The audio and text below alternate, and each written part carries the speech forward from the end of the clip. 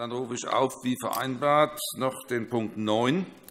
Erste Lesung des Gesetzentwurfs Fraktion CDU, BÜNDNIS 90 die GRÜNEN, Gesetz zur Änderung des Juristenausbildungsgesetzes und von Rechtsverordnungen über die Juristenausbildung.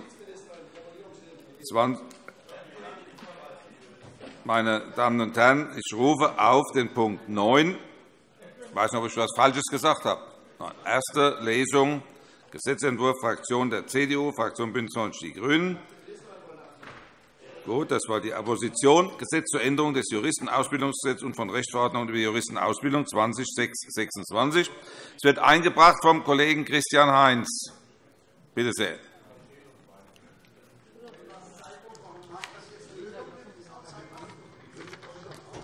Herr Präsident, äh, vielen Dank für die Erteilung des Wortes. Meine sehr geehrten Damen und Herren, liebe Kolleginnen und Kollegen! Ich habe die Freude, den Gesetzentwurf der Koalitionsfraktionen zur Änderung des Juristenausbildungsgesetzes in den Hessischen Landtag einzubringen. Unser Land Hessen braucht die besten Juristinnen und Juristen, und zwar in allen Bereichen für die Justiz, für die öffentliche Verwaltung, für die Rechtsanwaltschaft und natürlich auch für die privaten Unternehmen, die in unserem Land besonders stark sind. Die Juristenausbildung ist in Deutschland und natürlich auch in Hessen seit vielen, vielen Jahrzehnten, wenn nicht sogar seit Jahrhunderten, ist anspruchsvoll. Wir muten den jungen Juristen mehr zu als in vielen anderen Nationen auf der Welt, ein höchst anspruchsvolles Studium, das mit einem schwierigen ersten Staatsexamen endet und dann noch eine zweijährige Vorbereitungszeit und eine erneute Staatsprüfung. Wir ähm, sehen in den letzten Jahren, dass wir nach einem großen Angebot an jungen Nachwuchsjuristen in den Nullerjahren und auch in den 90er Jahren des 20. Jahrhunderts inzwischen größere Probleme haben bei der Nachwuchsgewinnung der hochqualifizierten Juristen. Wir sehen das, äh, die Kolleginnen und Kollegen aus dem Richterwahlausschuss werden es bestätigen können bei der Justiz. Da gelingt es uns zum Glück gerade noch so, die hohen Anforderungen in Hessen einzulösen mit ausreichend qualifizierten Bewerbern. Aber zur Wahrheit zählt auch, es war schon einfacher als in der heutigen Zeit. Und wir wollen auch reagieren auf eine andere Bewegung der letzten Jahre. Die Lebenshaltungskosten, gerade im Rhein-Main-Gebiet, sind äh, deutlich stärker gestiegen auch als in anderen Teilen Deutschlands, was es äh, für Menschen in der Berufs- in der Phase bis zum endgültigen Berufsabschluss auch besonders schwierig macht, hier eben entsprechend und angemessen leben zu können. Deshalb haben wir uns vorgenommen, mit diesem Gesetzentwurf ähm, als zweites Land nach Mecklenburg-Vorpommern, äh, was andere Probleme hat, junge Juristen anzulocken als wir, aber als zweites Land in Deutschland zurückzukehren zu einer Praxis, die in Deutschland über viele Jahrzehnte gegolten hat, nämlich dass wir Juristinnen zur Vorbereitung aufs zweite Staatsexamen und Juristen auch wieder aufnehmen in ein Beamtenverhältnis auf Widerruf. Das bedeutet ganz praktisch für diese jungen Menschen, dass sie künftig äh, über 300 € mehr im Monat haben werden, und zwar brutto wie auch netto, und damit äh, ein deutlich besseres Auskommen haben werden als bisher. Das ist sehr, sehr viel Geld, wenn man verhältnismäßig wenig verdient, 300 € mehr zu haben. Im Moment ist die Ausbildungsvergütung in Hessen liegt bei knapp 1.100 €, und es wird auf über 1.400 € brutto wird es steigen. Und äh, mit dem Beamtenverhältnis auf Widerruf sind noch weitere Vergünstigungen verbunden, eben die Befreiung von der Zahlung von äh, gewissen Sozialabgaben. Auf der anderen Seite muss man sich äh, natürlich auch privat krankenversichern, was aber für diesen Beschäftigtenkreis relativ günstig möglich ist, weil es da auch Sondertarife eben gibt, sodass diese über 300 € brutto mehr auch in den meisten Fällen auch zu 300 € netto mehr führen werden. Wir setzen damit ganz gezielt ein Zeichen. Wir wollen die Besten nach Hessen locken, wie das früher schon einmal war. Als es in Hessen als eines der letzten Länder abgeschafft wurde, war es so, dass Hessen die Flut an hochqualifizierten Bewerbern kaum noch aufnehmen konnte und dann fast genötigt war, ähm, auch zu einer Praxis äh, zu finden, die vorher schon fast überall in Deutschland galt. Jetzt wollen wir es umkehren. Nachdem wir als einer der Letzten das abgeschafft haben, wollen wir es als einer der ersten, nämlich als zweites Land, wieder einführen, die Verbeamtung, und ganz gezielt eben die guten Leute zu uns zu holen. Davon profitiert in Hessen dann mittelfristig die Justiz, es profitiert die Verwaltung, es profitieren die Rechtsanwälte, es profitieren die Unternehmen. Das ist ein wichtiger Baustein über aus dem ähm, mit, langem, mit langer Hand angegangenen Programm der Justizministerin, unsere Justiz und auch überhaupt unser Rechtswesen im Land zu stärken. Wir haben im letzten Plenum gesprochen über den Pakt für den Rechtsstaat und unser Stellenaufbauprogramm. Und äh, mit der Stärkung des Referendariats in Hessen setzen wir einen kleinen, aber sehr, sehr wichtigen Baustein schon ganz, ganz unten an in der Personalgewinnung, indem wir die Besten in unser Land locken wollen und auch hier entsprechend äh, honorieren und fördern wollen. Dazu leisten wir einen Beitrag. Dieser Gesetzentwurf ist, glaube ich, klug und es ist richtig, und er soll auch schnell behandelt werden, damit er zum 01.11.2019 wie beabsichtigt in Kraft treten kann, damit es noch dieses Jahr ähm, die Referendare auch in den Genuss dieser Vorzüge kommen. – Herzlichen Dank.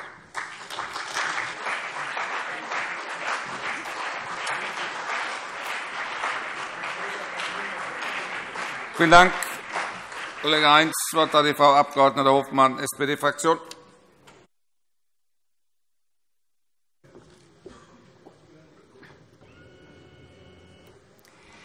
Herr Präsident, meine Damen und Herren! Seit Jahren prangert die Vertretung der hessischen Rechtsreferendare bessere Ausbildungsbedingungen an. Das wissen wir, und das müssten eigentlich alle Kollegen, zumindest des Fachausschusses, auch wissen. Kritisiert werden zum Teil die Ausbildung an sich, dass ähm, teilweise Basics, dass Materialien, etwa eine Handakte, die in der Verwaltungsstation ähm, übergeben wird und zur Verfügung gestellt wird, dass die etwa in anderen Ausbildungsstationen nicht zur Verfügung gestellt wird und dass man sich dann teure Materialien von anderer Stelle besorgen muss. Also Basics werden kritisiert, wo wir uns fragen, warum wird es nicht schon lange ähm, übernommen, diese Forderungen aber auch die, generell die Qualität der Ausbildung, obwohl von vielen Richtern und Staatsanwälten in höchst engagierter Art und Weise wirklich auch äh, Ausbildung gemacht wird. Aber seit Jahren gehört zu den Forderungen der Rechtsreferendare und Rechtsreferendare auch die Verbeamtung. Ich kann nur sagen, den Schritt, den Sie jetzt mit diesem Gesetz machen, der ist längst überfällig. Und, Herr Heinz, Sie haben es nur sozusagen angedeutet, es war Ihre, die schwarz geführte Landesregierung, die diesen falschen Schritt übernommen, durchgeführt hat vor Jahren, nämlich die Verbeamtung abzuschaffen und Warnungen etwa aus der Richterschaft, vom Deutschen Richterbund, NRV, Verdi und wie sie alle heißen, auch in jüngerer Zeit, nämlich die warnenden Hinweise, wir verlieren junge, gute Kräfte für den Justizdienst. Wir konkurrieren mit anderen Bundesländern, nicht nur mit den an Hessen heranreichenden äh, Bundesländern wie Niedersachsen, sondern wir konkurrieren bundesweit mit viel mobileren, mit viel flexibleren juristischen Nachwuchskräften, die auch in die freie Wirtschaft wechseln. Wir bekommen Nachwuchssorgen, und deshalb ist dieses Gesetz längst überfällig. Und es war ein Fehler, dass Sie es damals im Beamtenstatus abgeschafft haben.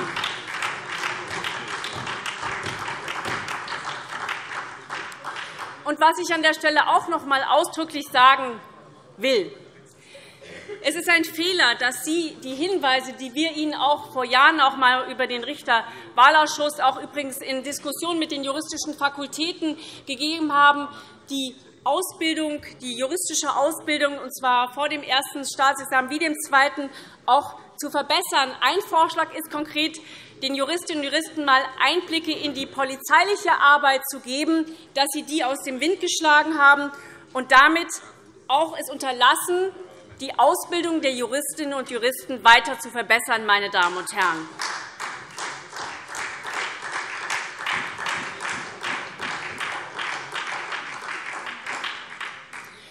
Und neben der notwendigen Anhebung der Vergütung ähm, jetzt auch der Einführung, Wiedereinführung des Beamten auf Widerrufs gibt es auch noch ein ganz sachliches Argument. Rechtsreferendare und Referendare nehmen im Rahmen etwa des staatsanwaltschaftlichen Sitzungsdienstes übernehmen die hoheitliche Aufgaben. Und an der konkreten Stelle ist es in der Tat mehr als gerechtfertigt und vertretbar, dass hier eine Veramtung auch der Rechtsreferendare entsprechend da ist. Meine Damen und Herren.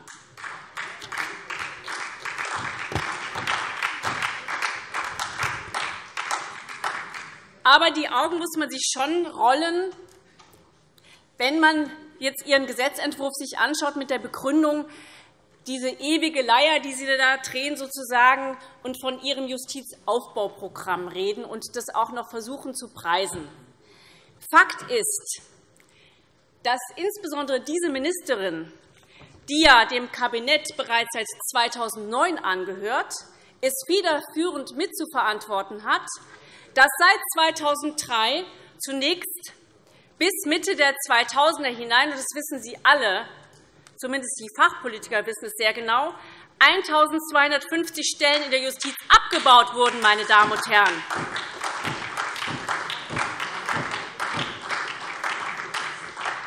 Dann haben Sie auch spät einsehen müssen, weil es gar nicht mehr so weiterging, dass nach diesen Abbaujahren, diesen drastischen Abbaujahren Personal wieder sozusagen aufgebaut werden muss.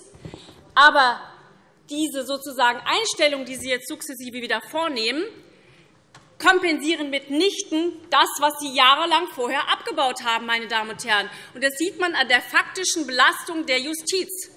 Und deshalb ist es kühn zu behaupten, dass Sie jetzt auch sozusagen mit diesem kleinen Mosaiksteinchen ähm, einen nennenswerten Beitrag dazu leisten würden, dass der Rechtsstaat und unsere Justiz gestärkt wird. Es ist ein ganz kleines Mosaiksteinchen. und Ich sage Ihnen, Sie müssen viel, viel mehr tun, damit unser Rechtsstaat gestärkt wird, dass mit Vertrauen in unseren Rechtsstaat nicht verloren geht. Ich möchte noch ein weiteres hinzufügen.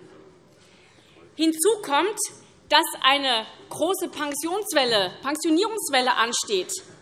Wir als SPD-Landtagsfraktion haben die Zahlen vor Kurzem abgefragt mit einer kleinen Anfrage. Und die zeigen, dass alleine im schon laufenden Zeitraum 2018 bis 2022 allein 322 Beamten das Pensionsalter erreichen und die Pensionsgrenze und darüber hinaus. Frau Kollegin Hoffmann, Sie denken an die Zeit. Im Bereich der Tarifbeschäftigten weitere 279 folgen werden, mit steigender Tendenz. Meine Damen und Herren. Das kommt on top obendrauf an Personalbedarf, den wir in der Justiz brauchen. Und deshalb sage ich Ihnen, dieses Gesetz ist längst überfällig, aber unternehmen Sie mehr Anstrengungen, dass unsere Justiz und unser Rechtsstaat gestärkt wird.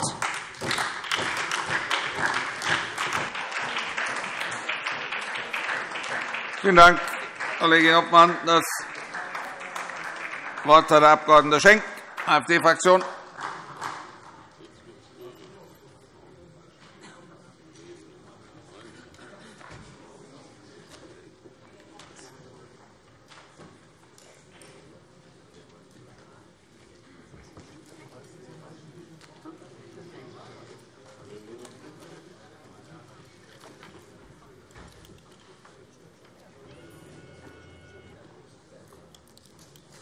Präsident, verehrte Damen und Herren, werte Besucher auf der Tribüne!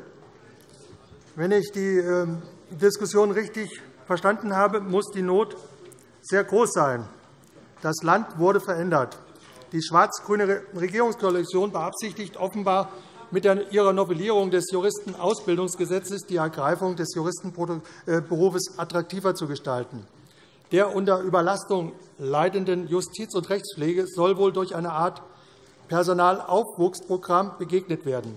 Als ein Mittel zur Personalgewinnung dient die vorgelegte Gesetzesänderung, welche sowohl den Status als auch die Vergütung der Rechtsreferendare neu regelt. Gegenwärtig erhalten Rechtsreferendare in Hessen eine als überaus bescheiden zu bezeichnende Vergütung von ca. 1.085 €. Damit stehen hessische Rechtsreferendare an der letzten, vorletzten Stelle Entschuldigung, im Vergleich der deutschen Bundesländer. Dies wird sich nach dem Inkrafttreten der hier zu behandelnden Gesetzesnovellierung ändern, da diese Rechtsreferendare erstens den Status von Beamten auf Widerruf zuweist und äh, zweitens in die Beamtenanwärterbesoldungsgruppe A 13 angruppiert. Nach der Besoldungstabelle äh, beträgt dann das Grundgehalt ca. 1.410 €. Aus Sicht der AfD ist eine leistungsangemessene Bezahlung im Grundsatz erstrebenswert. Das zweistufige juristische Ausbildungsmodell ist mit einer Gesamtdauer von ca. acht bis zum Teil zehn Jahren nicht nur sehr zeitintensiv, sondern erzeugt zudem hochqualifizierte akademische Nachwuchskräfte, welche in allen Bereichen der Justiz, Wirtschaft und Verwaltung stark nachgefragt werden.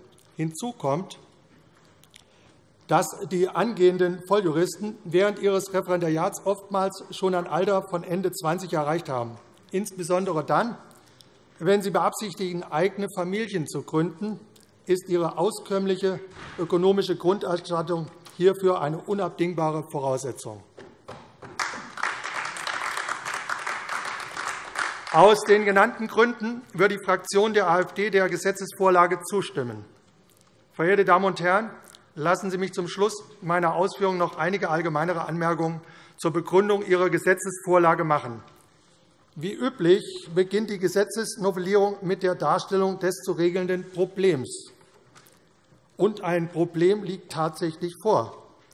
Es mutet schon grotesk an, wenn die Vertreter der Schwarz-Grünen von Schwarz-Grün einerseits korrekt feststellen, dass in unserem freiheitlich-demokratischen Rechtsstaat der Justiz eine zentrale Funktion zur Sicherung des Rechtsfriedens und des effektiven Rechtsschutzes zukommt und diese Herrschaften zugleich mit ihrer Politik der letzten Jahre eine bis dato nicht vorstellbare Erosion des Rechts in unserem Land ins Werk gesetzt haben.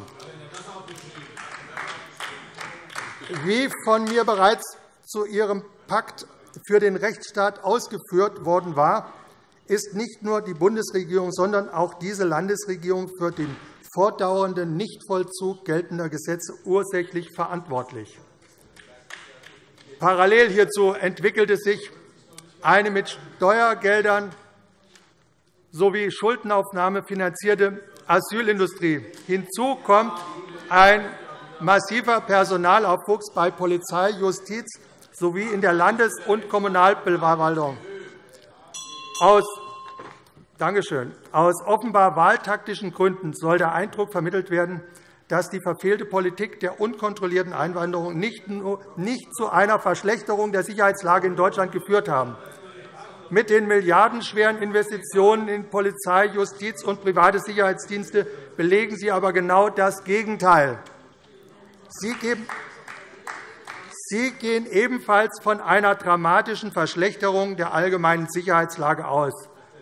Diese willkürlich herbeigeführten Belastungen führen zu einem der, äh, führen zu einem der Zivilgesellschaft abträglichen Einsatz der immer knapper werdenden Mittel. Auch die vorliegende Gesetzesänderung kann als Element von dieser Seite, von Seite des Staates erzeugten Scheinkonjunktur und Fehlallokation betrachtet werden. Denn denn die für eine zukunftsgewandte Politik in Deutschland erforderliche breite Ertüchtigung junger Menschen im Handwerks- und Ingenieurberufen wird gerade unterlassen. So ist es bereits ausgemacht, dass die vorgelegte Novellierung des Juristenausbildungsgesetzes weder kurz- noch mittelfristig die innere Sicherheit erhöhen wird, die durch Ihre Politik ja gerade erst erodierte. Die Herr Kollege Schenk, Sie müssen zum Schluss kommen. Danke für den Hinweis. Die vorgelegte Gesetzesänderung ist schädliche Symbolpolitik und zur Problembewältigung ungeeignet. Ich bedanke mich für Ihre Aufmerksamkeit.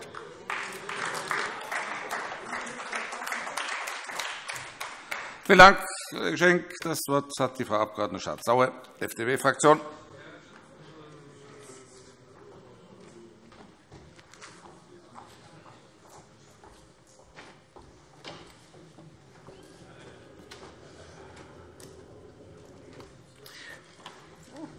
groß, der Vorgänger. Sehr geehrter Herr Präsident, werte Kollegen! Der Gesetzentwurf der Landesregierung dreht sich und da findet sich ja eigentlich schon ein bisschen etwas Verwirrendes auch in der Debatte auch meiner Vorredner. Es geht um die Juristenausbildung in Hessen. Wir Freie Demokraten begrüßen Maßnahmen, die Juristenausbildung zu verbessern. Und äh, wir setzen uns auch für eine adäquate Vergütung von Rechtsreferendaren ein, damit eben das nicht passiert, dass sie während des Referendariats, verschiedene Zahlen wurden genannt, einer Nebentätigkeit nachgehen müssen, um sozusagen oftmals auch schon in Familienstand, verheiratet, manchmal auch schon Nachwuchs, das alles zu finanzieren, sondern sich darauf konzentrieren können, ja, die bestmöglichen Juristen zu werden. Aber jetzt wieder zu der Überschrift der Rede oder des Tagesordnungspunktes Juristenausbildung. Eine Beamtung beschäftigt sich nicht mit der Ausbildung an sich. Das ist sozusagen etwas ein Add-on. Wir sehen darin eine Kehrtwende vom bisherigen System und sehen das Ganze sehr skeptisch. Es geht darum, ob der monetäre Einsatz In der Berechnung für den Referendar, die Referendarin mag das unter dem Strich auf dem berühmten Einkaufszettel mehr sein. Aber ob dieser monetäre Einsatz a. ein Problem, auf das ich gleich noch komme, löst und etwas mit Juristenausbildung, Qualität von Ausbildung zu tun hat, das sehen wir sehr skeptisch und ist aus unserer Sicht nicht das richtige Mittel, um die Juristenausbildung und da, liebe Kollegen von der SPD, haben Sie völlig recht. Da muss etwas passieren. Wir haben Fachkräftemangel in anderen Bereichen und auch im juristischen Bereich. Und auch dort muss die Ausbildung mit der Zeit gehen. Gesellschaft verändert sich.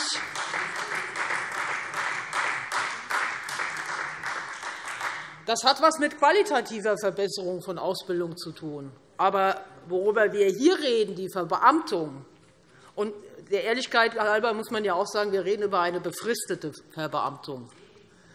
Das ist eine quantitative Verbesserung auf Zeit, die nicht das eigentliche Problem löst. Und zur Ehrlichkeit in der Debatte und zur Ehrlichkeit in der Debatte, wenn man die Vergangenheit bemüht, gehört natürlich auch, dass es eben die Vertreter der Referendare waren, die seinerzeit das durchaus unterstützt haben, die Abschaffung der Verbeamtung.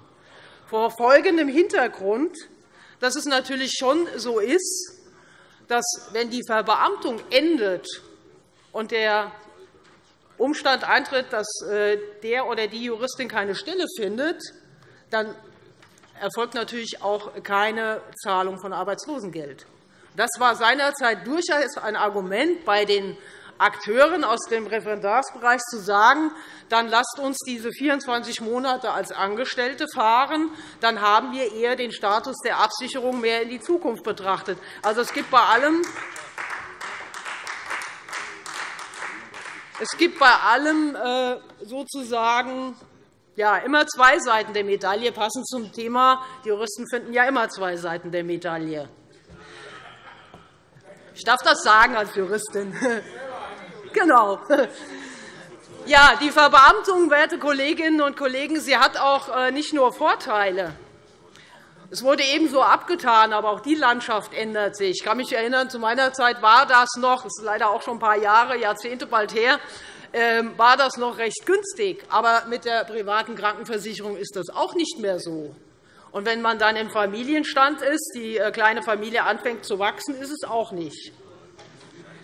Und der nächste Punkt ist, ob diese befristete Erhöhung von Geld führt die dann dazu, dass der Justizdienst beim Lande Hessen mit diesen mehrfach angemahnten und wirklich fehlenden innovativen Ansätzen so lange andauert, dass Sie sagen, wir wollen unbedingt in Hessen bleiben. Das bezweifeln wir. Und die finanziellen Auswirkungen auf der anderen Seite, und wir sollten ja, wir nähern uns ja eigentlich dem sozusagen dem Höhepunkt des Parlaments. Heute Nachmittag geht es ums Geld. Und bei allem, was wir hier reden, sollten wir natürlich auch die Kosten für das Land Hessen nicht so ganz aus dem Auge äh, verlieren. Die Ausgaben für das Haushaltsjahr 2019 würden sich auf 1 Million € belaufen und für das Jahr 2020, das erste Volljahr, auf 5,4 Millionen €. Wenn man das alles in die Waagschalen wirft und sagt, wie gehen wir dann weiter? Da sagen wir Freie Demokraten, da ist unser Zielfokus eher die qualitative Steigerung der Ausbildung. Kollegin, Sie müssen zum Schluss kommen. Ich bin schon fast in der Zielkurve.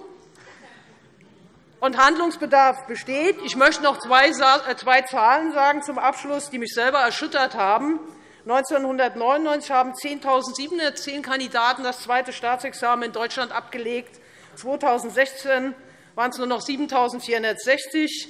Also das Gerücht, Juristen gibt es wie Sand am Meer, das stimmt nicht. Wir müssen handeln.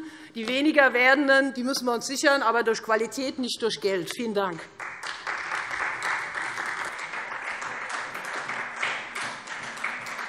Vielen Dank. Das Wort hat der Kollege Dr. Wilken, Fraktion DIE LINKE.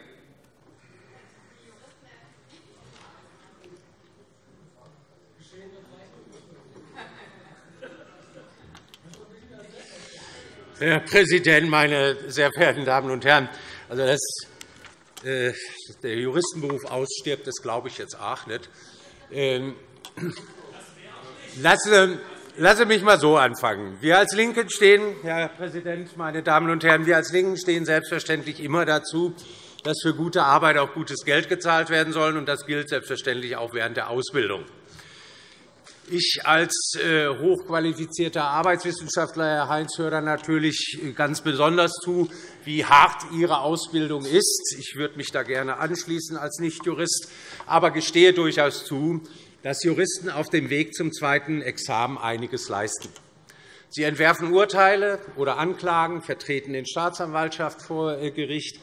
Rechtsreferendare sind ein aktiver Teil unseres Justizsystems nehmen hoheitliche Aufgaben wahr. und Von daher ist der Status Beamte auf Widerruf vollkommen in Ordnung. Doch die Vergütung war in den letzten Jahren alles andere als attraktiv. Alle Bundesländer haben die ursprüngliche Verbeamtung in ein öffentlich-rechtliches Ausbildungsverhältnis umgewandelt, um Geld zu sparen. Sparen auf Kosten der Mitarbeiter. Das kritisieren wir immer. Das Gesetz erfüllt nun eine langjährige Forderung der Rechtsreferendare. Netto wird wohl zukünftig mehr Geld auf dem Konto der Referendare sein. Die Zahlen sind genannt, derzeitig ca. 1.100 €, demnächst wahrscheinlich 300 € mehr. Wir warten einmal die Anhörung ab, wie die Expertenmeinungen zu dem Gesetz sind. Allerdings, meine Damen und Herren, gibt es noch einige Baustellen mehr, die in der Ausbildung der Juristen anzugehen wären. Und da bewege ich mich in der gleichen Argumentation wie meine Vorrednerin um qualitative Änderungen. Zum Beispiel die unsäglichen privaten Repetitorien, die ein Geschäft mit der Angst der Referendare betreiben, weil diese nicht ganz zu Unrecht das Gefühl haben, in ihrem Referendariat nicht gut genug ausgebildet zu werden inwieweit die Juristinnen und Juristen auf die Herausforderungen der Digitalisierung bei unserer Ausbildung oder auf internationale Zusammenhänge adäquat vorbereitet werden, das ist ein ganz anderer Aspekt. Noch einmal, da müssten wir an anderer Stelle einmal darüber reden. Aber das sind Punkte, die verbessert werden müssen. Und deswegen, dieses Gesetz, so schreiben Sie auf, erfüllt den Zweck am Ende hochkarätige Juristen im Staatsdienst zu haben. Die Besten, hat Herr Heinz immer gesagt. Aber, meine Damen und Herren, es mag ja sein, dass die Verbeamtung auf Widerruf jetzt gute Juristen in der Ausbildungszeit nach Hessen lockt. Aber wenn Sie dann mit dem Gehalt argumentieren, dann sieht es im Rhein-Main-Gebiet, insbesondere in Frankfurt am Main, ja nun einmal ganz anders aus. Nach Angaben des Deutschen Richterbundes werden im bundesweiten Durchschnitt im privaten Bereich 48.000 € brutto im Jahr bezahlt. Das ist nicht schlecht. Aber ein vergleichbarer Prädikatsjurist in einem Unternehmen, z. B. in Frankfurt, verdient nach der Unternehmensberatung Chiembau 87.000 €, und es geht auch hoch bis 120.000 €. Also, meine Damen und Herren, wir werden in der Frage, was wir an Gehältern zahlen, mit diesen privaten Anbietern nie konkurrieren können.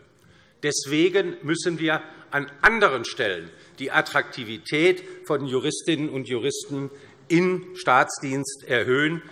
Das wären dann z. B. eine deutlich verbesserte Work-Life-Balance, ein attraktives Arbeitsumfeld, moderne Arbeitsmittel und eine mit Augenmaß vorgenommene Reform der Juristenausbildung, auch mit Blick aufs E-Government, könnte gerade die Justiz als Arbeitgeber attraktiver machen. Vielen Dank.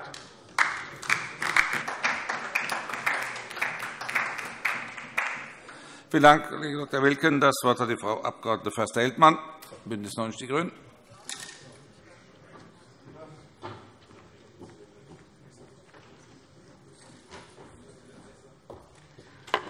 Ja,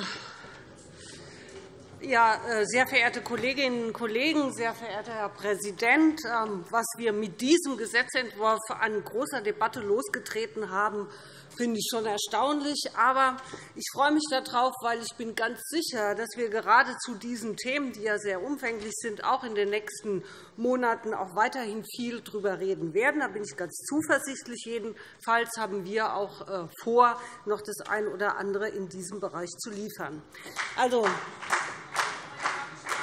wenn ich ähm, mir auch jetzt ähm, die Vorrednerinnen und Redner anhöre, da wird von äh, Mosaikstein äh, gesprochen. Ja, richtig. Von Symbolpolitik, nein, nicht richtig. Ähm, Herr Dr. Wilken fängt damit an, dass wir unattraktiv sind. Das ist vollkommen falsch, wie ich finde weil äh, wir gerade in dem, in dem Zeitraum, in dem Lebenszeitraum, über den wir mit diesem Gesetz reden, besonders attraktiv sind für junge Menschen, weil in der Folge darauf die äh, Flexibilität in diesen Arbeitszusammenhängen gerade für Familien viel größer ist als in anderen Bereichen. Aber darüber wollen wir ja eigentlich gar nicht reden, sondern jetzt geht es um die Rechtsreferendare. Vollkommen richtig ist, dass die Rechtsreferendare in der Vergangenheit eigentlich seitdem ich in diesem Landtag bin, Herbst 2017, ähm, immer Kontakt gesucht haben zu Politikerinnen, und zwar zu allen Parteien. Und daher kenne ich mich mit den Befindlichkeiten derer aus, äh, um die es heute geht. Ich halte mich kurz. Wir sind gleich bereit für die Mittagspause. Ja?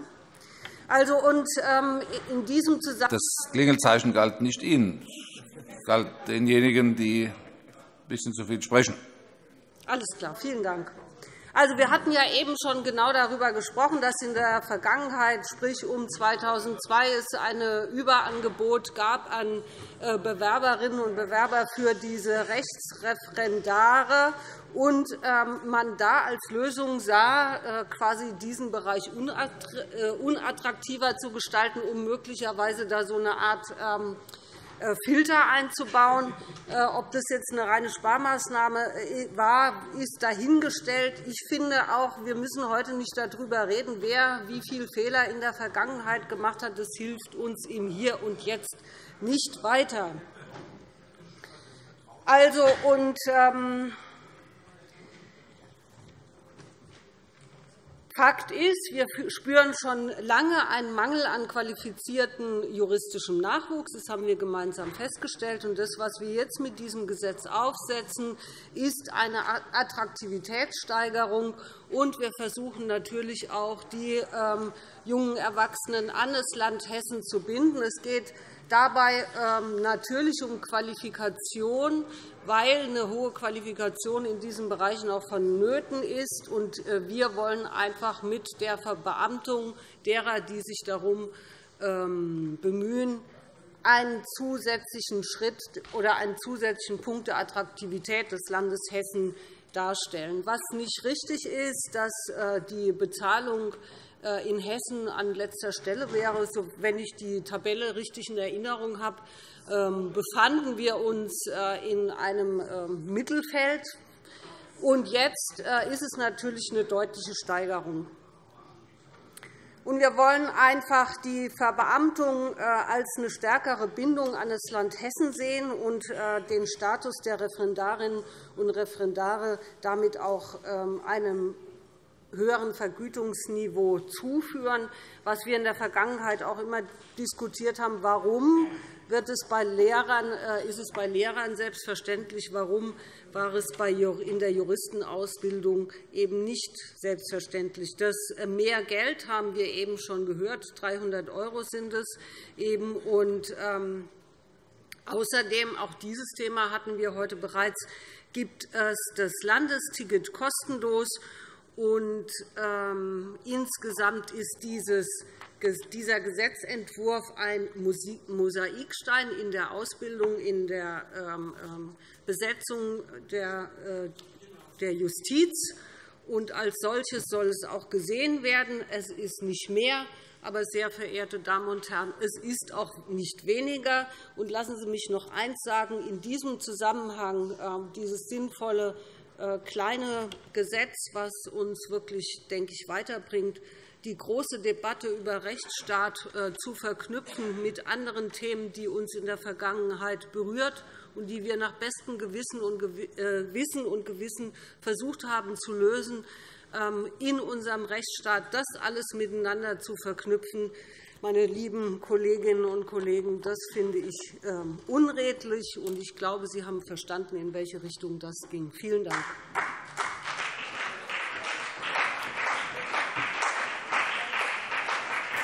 Vielen Dank. Vielen Dank, Frau Kollegin Frey-Seltmann. Es spricht nun die Justizministerin. Frau Staatsministerin Kühne-Hermann, bitte sehr. Vielen Dank, Herr Präsident, meine sehr geehrten Damen und Herren! Ich will mich bedanken bei den Koalitionsfraktionen, dass dieser Gesetzentwurf heute eingebracht wird. Es geht um den Wettbewerb um die besten Köpfe. Das Stellenaufbauprogramm der letzten Legislaturperiode und auch das, was im Koalitionsvertrag steht, bedeutet, dass wir so viele Juristen wie noch nie in Hessen in den letzten zwei Jahren eingestellt haben. Darauf kann man auch ein ganzes Stück stolz sein. In der letzten Legislaturperiode hatte die schwarz-grüne damalige Landesregierung schon die Kraft, die Vergütung der Referendare auch im Angestelltenbereich raufzusetzen. Und, Frau Kollegin Hoffmann, da hätten Sie auch zustimmen können. Das haben Sie nicht gemacht. Zur Verbesserung konkret etwas beigetragen. Fehlanzeige. Und das gilt auch für die FDP. Das will ich deutlich sagen. Wenn wir über eine Verbesserung reden, dann sind wir das erste Flächenland und die Ersten, die in einer Koalitionsvereinbarung die Forderung stehen haben, dass wieder Rechtsreferendare Beamte auf Widerruf werden. Und deshalb, meine sehr geehrten Damen und Herren, kommt es darauf an, Herr Kollege Wilken, es geht nicht nur natürlich um den finanziellen Anteil, der erhöht wird, sondern es geht auch um die Frage, an welchem Standort mache ich Referendariat? Und da gucken die jungen Leute schon, gibt es da spannende Ausbildungsstellen? Wir haben heute Morgen über die ZIT geredet, wir haben über andere Schwerpunktstaatsanwaltschaften geredet und auch über Wirtschaftskriminalität und andere Themen. Es kommt darauf an, dass man inhaltlich spannend ist, dass die Bezahlung stimmt, dass es im Beamtenverhältnis eine andere Perspektive gibt und dass man seinen Lebensmittelpunkt mit allem, was dazugehört, in einen Bereich verlegt, aus dem man vielleicht nachher nicht mehr wegziehen will. Das sind am Ende die Pakete, die geschnürt werden müssen, um an die besten Leute zu kommen, um, um insgesamt attraktiv zu sein. Und deswegen, Frau Kollegin Hoffmann, die SPD-geführten Länder, von denen hat sich keiner auf den Weg gemacht. Es hat keiner etwas in die Koalitionsvereinbarung reingeschrieben, was die Referendare im Beamtenverhältnis angeht. Da können Sie ja einmal bei den Kollegen werben. Und ich bin gespannt, ob Sie die Kraft haben, zuzustimmen, diesem Gesetzentwurf, der eine Verbesserung darstellt. Und Richtung FDP und Richtung und Richtung FDP will ich sagen, Frau Schardt-Sauer, das kann man Ihnen nicht vorwerfen, dass Sie über die Vergangenheit der letzten Legislaturperiode nicht viel wissen. Deutlich bleibt jedenfalls, Sie wollen die Referendare in Hessen finanziell nicht besser stellen, sondern Sie setzen blumig auf andere Dinge, die eh passieren. Und das sollten die Referendare dann auch zur Kenntnis nehmen. Sie haben gesagt, es geht nicht ums Geld, es geht Ihnen nicht ums Geld der Referendare. Das sehen wir völlig anders. Vielen Dank.